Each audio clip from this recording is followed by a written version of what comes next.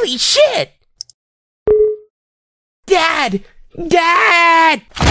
Hey there, son. How's the math homework going? Yeah, yeah, uh, it's going good. Hey, can you type in the admin password? Why? What's it for? Dad, you've done this before without asking me about it. Just put it in. Son, I will not let you use me like this. I have a parental responsibility to uphold. Dad, it's just a password. You little bastard, you know what? You're not getting the password. Why can't you kids enrich yourself with printed learning material like this great find from the clearance bin at Target? Why do I need to worry about college in my first year of middle school? Alright, that's it. I'm taking your wall privileges away.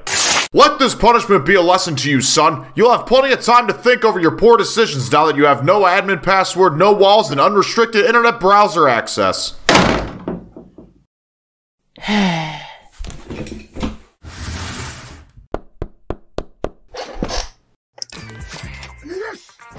hmm.